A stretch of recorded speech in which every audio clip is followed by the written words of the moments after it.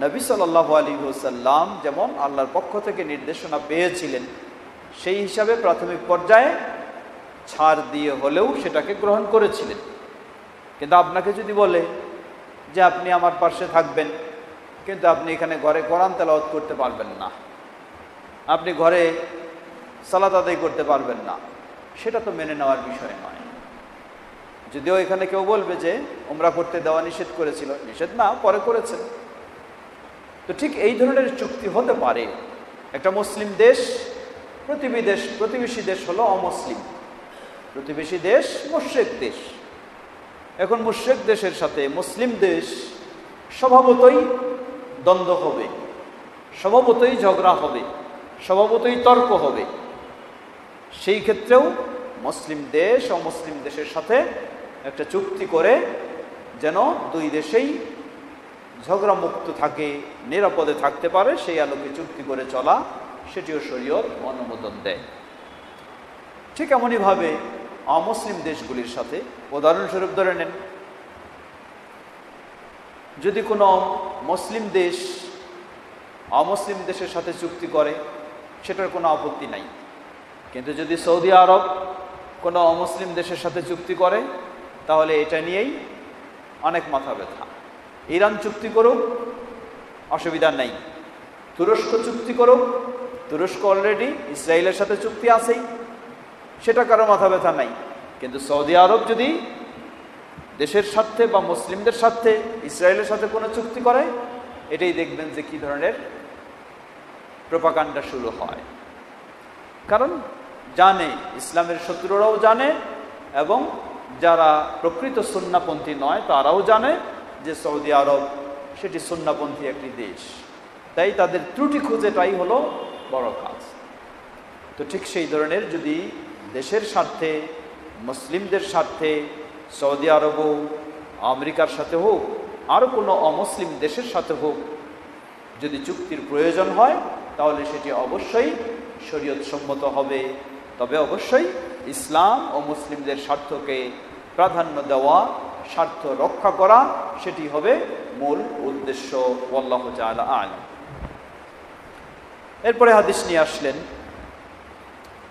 প্রসিদ্ধ সাহাবি আবদুল্লাহ ইবনে ওমর রদি আল্লাহ তালা আনহুমা তিনি বর্ণনা করছেন আন্না রসুল আল্লাহ সাল্লাহ সাল্লাম খারাজা মুআজামিরা ফাহালা কুফারু কুরাইশিন بينه وبين البيت فنحر هديه وحلق رأسه بالحديبية وقاضاهم على أن يعتمر العام المقبل ولا يحمل سراحا عليهم إلا سيوفا ولا يقيم بها إلا ما أحبوا.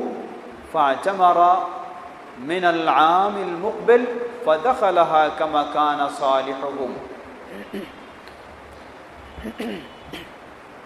فلما أقام بها ثلاثا সেই হাদিসের এই সমর্থবোধক হাদিস নবী সাল্লাহ আলী হুসাল্লাম ওমরার উদ্দেশ্যে বের হলেন। হদয়বিয়া নামক জায়গায় গেলে মুশ্রিকদের পক্ষ থেকে বাধাপ্রাপ্ত হলেন ওমরা করার সুযোগ নেই। তখন তারা যে এহরাম অবস্থায় ছিলেন, সেই এহরাম থেকে হালাল হয়ে গেলেন। তাদের যে পশু ছিল কোরবানির, সেগুলি জবাই করে ফেললেন, মাথার চুল কেটে ফেললেন কেটে হালাল হয়ে গেলেন।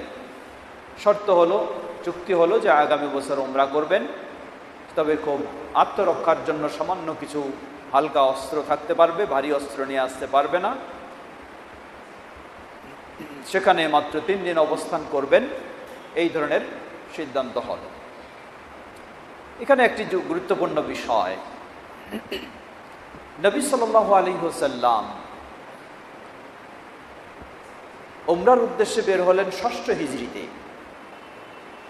অথচ দ্বিতীয় হিজড়িতে সংগঠিত হলো বদরের যুদ্ধ।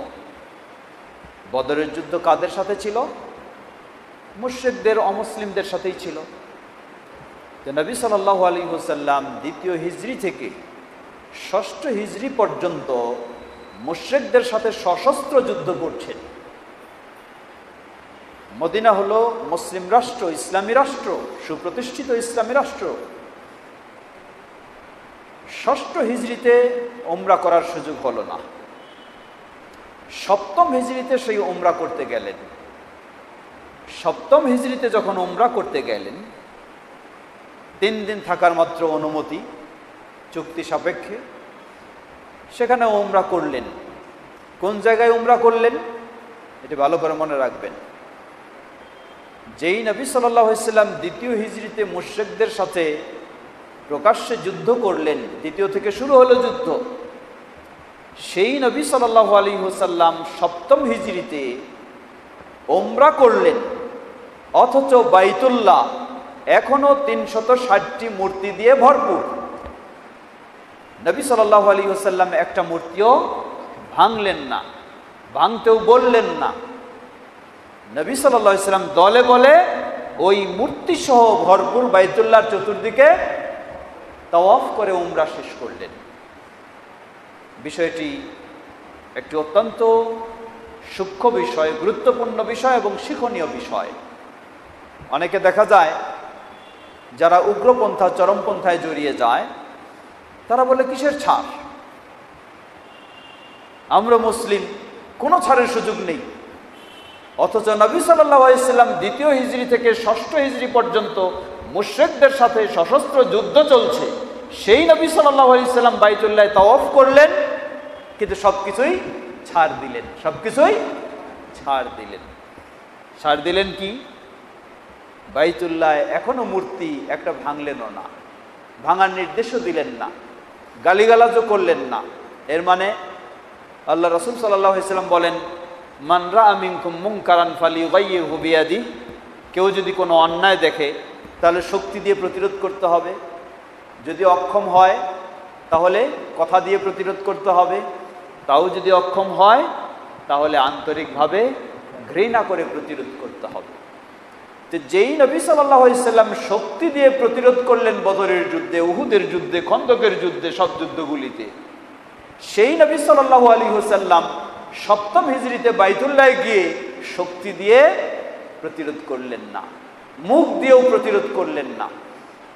অন্তর দিয়ে ঘৃণা করলেন, প্রতিরোধ করলেন, চুপচাপে ওমরা শেষ করে চলে আসলেন। অষ্টম হিজড়িতে যখন আবার মক্কা বিজয় হয়, তখন আবার শক্তি দিয়েই প্রতিরোধ করলেন। বাইতুল্লাহর সেই তিনশত ষাটটি মূর্তি ভেঙ্গে একেবারে বাইতুল্লাহকে পরিচ্ছন্ন, পবিত্র করলেন। যখন বিজয় হলো। কিন্তু তার আগ পর্যন্ত নবী সাল্লাম একদিকে তিনি সশস্ত্র যুদ্ধ করছেন আর অপরদিকে সেখানে শক্তি দিয়ে প্রতিরোধ করা, মুখ, মৌখিকভাবে প্রতিরোধ করা সব কিছু তিনি স্টপ করলেন। কেন? কারণ একদিকে সশস্ত্র যুদ্ধ করার পরিবেশ হলেও আরেক জায়গায় সেই পরিবেশ ছিল না। যার কারণে সেখানে সেই পরিবেশ অনুযায়ী নবী সেই ব্যবস্থা নিলেন। কিন্তু আমাদের কিছু মানুষ দেখবেন, এত ইমানের তেজ, সব জায়গায় একইভাবে দেখতে চায়। এটি সম্পূর্ণ ভুল চিন্তা। নবী সাল্লাম থেকে এই শিক্ষা নয়। বরং নবী সাল্লাম থেকে শিক্ষা হলো, যেখানে আপনার ক্ষমতা রয়েছে শক্তি রয়েছে, শক্তি দিয়ে প্রতিরোধ করার সেখানে তাই করতে হবে। আবার যেখানে গিয়ে আপনার সেই প্রেক্ষাপট নেই, সেখানে প্রয়োজনে আপনাকে এটা বন্ধ রেখে আপনাকে আন্তরিকভাবে ঘৃণা ও প্রতিরোধ বা প্রতিবাদ জানিয়েই সেখানে ব্যবস্থা নিতে হবে। সর্বোপরি মনে রাখতে হবে, আবেগ দিয়ে কোনো কাজ করার সুযোগ ইসলামে নেই। ইসলামে কাজ করতে হবে নবী মোহাম্মদ সাল্লাহ আলী সাল্লামের মানহাজ অনুযায়ী, সালাফদের মানহাজ অনুযায়ী, নবী সাল্লাহ সন্না অনুযায়ী, নবী সাল্লাহ আদর্শ অনুযায়ী এই জন্যই আল্লাহ বলেন হাসানা। আমাদের মডেল কোনো ব্যক্তি না। আমাদের মডেল হলেন নবী মোহাম্মদ সাল্লাহ আলী হুসাল্লাম যদি আমরা নবী মোহাম্মদ সাল্লাহ ইসলামের জীবনটাকে, গোটা জীবনীটাকে ভালোভাবে উপলব্ধি করি এবং জানি তাহলে আমরা অবশ্যই সুন্দরভাবেই অগ্রসর হতে পারব। বড় ধরনের বিশৃঙ্খলা ও অপবাদ আমাদের কাঁধে নিতে হবে না। আসবেই, এর অর্থ এই নয় যে বাধা থেকে আপনি মুক্ত হয়ে যাবেন। আসবে ইসলাম বিরোধী যারা বিদ্বেষী যারা, তারা আপনাকে বলবেই। কিন্তু অনেক সময় নিজের ত্রুটির কারণেও সেইগুলি অপবাদগুলি এসে যায় বা শুনতে হয়। আল্লাহ আলম।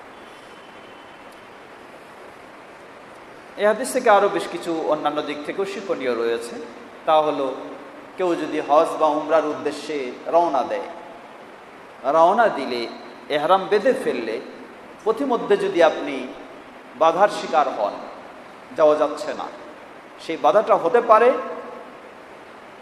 কোনো শত্রুপক্ষের বাধা, অথবা হতে পারে শারীরিক অসুস্থতার কারণে বাধা। এমন অসুস্থ হয়ে গেলেন আপনাকে হাসপাতালে অ্যাডমিশন ছাড়াও কোনো উপায় নাই। তখন আপনার জন্য করণীয় হলো, সেখানেই মাথার চুল কেটে এহারাম থেকে মুক্ত হয়ে যাওয়া। তবে আবার এটাকে সামর্থ্য থাকলে পরের বছর সেটাকে আবার পূর্ণ করতে হবে। আল্লাহ আলা আলম।